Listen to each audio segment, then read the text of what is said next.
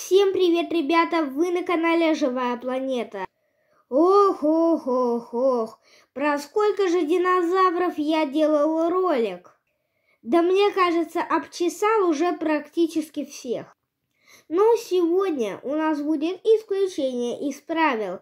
Встречайте, динозавр, которого принято считать крупнейшим из всех. Держался ли он в стаде, мог ли он вставать на дыбы. Короче, встречайте, аргентинозавр.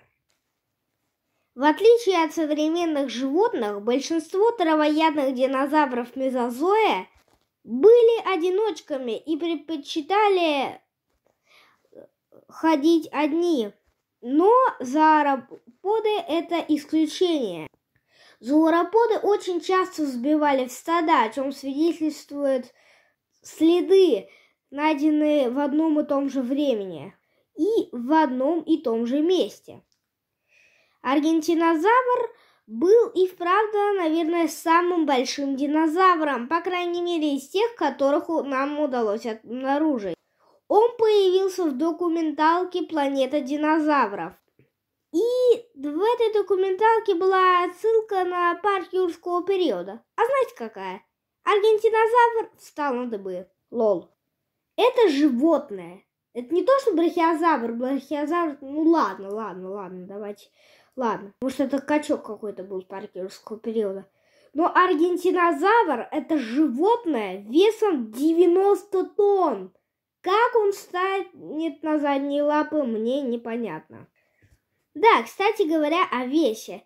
Оценки очень разнятся, варьируются от 70 до 115 тонн. И все же, я думаю, что масса аргентинозавра была в районе 80 тонн. Он был настолько тяжелым, что превращал песок под ногами в трясину, и там даже находили кости других животных. В одном следу однажды нашли нескольких небольших двухметровых крокодилов, немного динозавров, а также каких-то млекопитающих. К сожалению, остатков от аргентинозавра очень мало, поэтому рассчитывать... Я всегда вот говорил, что рассчитывать размер животного по пару костям, ну это как бы не как бы. Но длина аргентинозавра сильно варьируется точнее расчета длины, от 28 до 39 метров. Но сейчас принято считать, что этот динозавр вырастал от 30 до 35 метров. Но являлся ли он самым большим?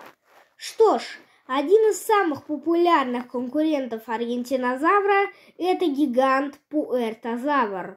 Пуэртозавр, в принципе, тоже мог вырастать до 30 метров – а возможно даже больше.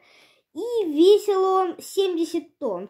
Да, полегче, чем аргентинозавр, но в длине они были примерно одинаковые с ним. Второй кандидат – это амфицелия. Он был, в принципе-то, подлиннее аргентинозавра, так как рассчитываемая длина где-то 33-36 метров. Но опять же, вес амфицелий где-то 40 тонн, как, э, так как амфицелий это диплодоцит. А они все там дохлики, голова и шея. Ну и последний кандидат потога титан. Длина потога титана 38 метров, а вес 70 тонн. И он опять же легче. Мы можем сделать вывод. Аргентинозавр – самый крупный динозавр. Он очень интересен, но, к сожалению, мы, возможно, больше о нем ничего не узнаем. А пока ставьте лайки, подписывайтесь на канал. Всем пока!